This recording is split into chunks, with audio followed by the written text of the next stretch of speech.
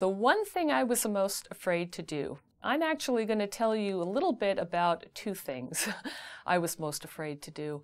The biggest thing probably in my life was when I was 19, my mother died of cancer. And I was alone in the world at that point in time because my grandmother was old. My grandmother was senile at the time. Going back, uh, I was a, a freshman at Cornell University when my mother started getting sick going back to school was one of the most difficult things. I, I, wouldn't necessarily say it was something I was afraid to do, but it was something that was extremely difficult, picking myself up and continuing. Um, I did that, one, because I knew my mother would want me to do that, um, and because I really, really wanted that career in astronomy. The other thing doesn't really relate to my career, but it may some, say something about the type of person I am.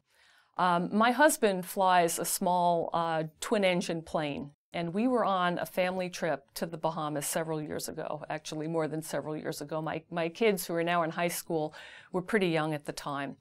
So the three kids were seated in the back of the plane. My husband and I were in the front of the plane, and we got into some seriously bad weather.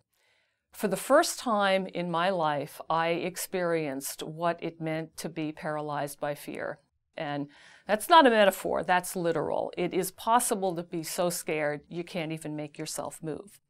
And I thought for sure we were going down, that we were going to crash, that we were going to die, and my three kids in the back seat with us. It was the most scary experience of my life. And the hardest thing in the world for me, after we actually landed the plane safely, was getting back into that plane again.